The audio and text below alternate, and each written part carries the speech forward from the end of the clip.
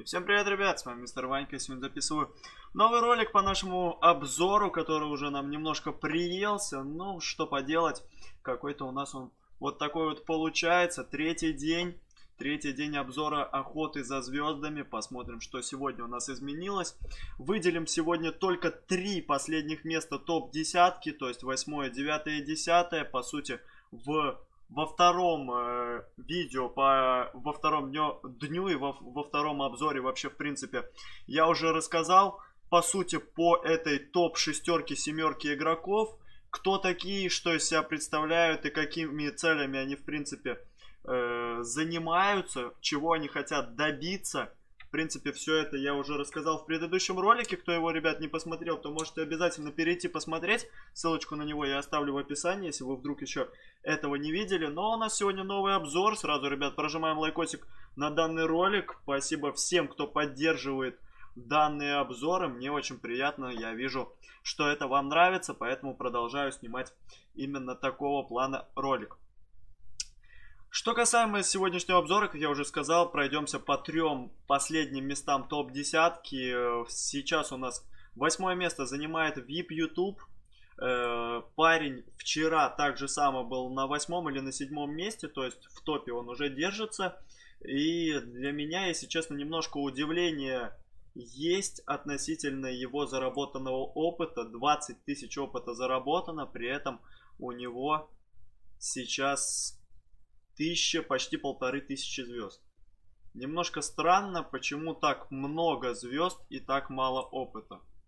И для меня, честно говоря, непонятно. Возможно, в первом дне, именно на прошлой неделе, он набил больше, большее количество звезд. Ну, то есть он набил, он должен был набить тогда за день где-то 700 звезд, но мне это мало верится. И я, если честно, не понимаю, каким образом игрок сейчас находится на восьмом месте топа. Будем следить именно за данным игроком, посмотрим, как изменится обзорчик, э, именно не то, что даже обзорчик, а количество его звезд завтра. Посмотрим, что с ним вообще произойдет, будет ли держаться он в топе или нет, но пока он у нас уже второй день держится. Что касаемо девятого места, то у нас э, игрок с ником Промокод, он же Big Tanks, Очередной мульт, очередной ивент, и он опять борется за топ-10. Э, на войне он боролся у нас на другом аккаунтике за Легаси, там он занял восьмое или девятое место, не помню точно, может э, еще какое-то другое. В принципе, по этому поводу можете отписать в комментарии, кто знает точнее именно какое место он там занял.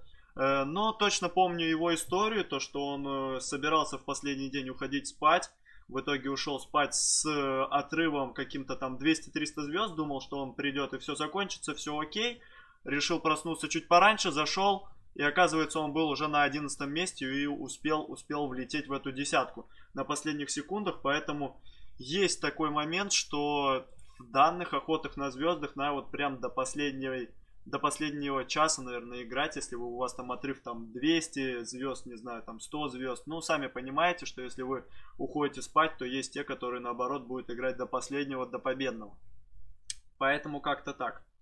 Что касаемо 10 места, Край, э, знаю, что это грузинский игрок, играл раньше много на всяких различных марафонах, сейчас борется за эту топ-десятку, и в принципе знаю, сколько времени данный игрок может уделить игре, и уверен в том, что если игрок данный задался себе целью именно таки забрать топ-10, то в принципе он сможет достичь этой цели.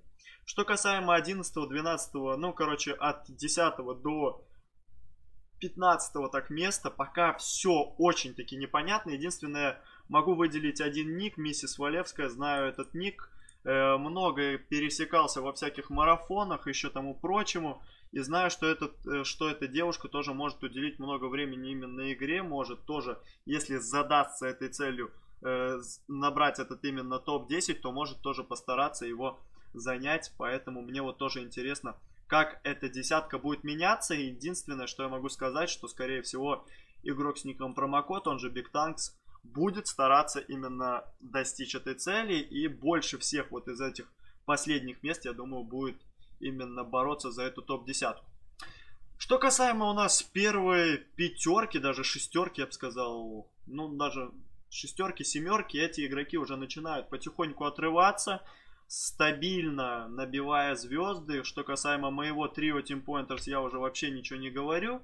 Эти ребята уже просто каждый день уделяют столько времени, сколько в принципе считают нужным, но пока это очень таки большие цифры. Вчера я говорил вечером с Аветисом, он сказал, что пока отрыва хотя бы в 500 звезд не будет от топ-10, хотя в принципе сегодня уже отрыв этот имеется, то останавливаться точно нет смысла. Он хочет бороться именно до тех пор, пока не будет 100% уже уверен в том, что, э, что он не слетит именно с этого топ-10, поэтому максимально времени именно дневного они уделяют троем именно набитию звезд. Понятно, что самая большая скорость набития звезд именно таки у них, у этих троих игроков, но все равно Жека Микс у нас не уступает сейчас вообще никак, и в принципе в этом плане он все-таки не потеряет, скорее всего, это топ-1, не хочет он этим это именно таки терять, но будем следить, будем смотреть. Понятное дело, что в принципе трио пока именно такие не нацелены на это первое место. В принципе, им главное удержаться в этой топ-десятке, но зачем им это первое место, оно все равно ничего им, в принципе, не даст.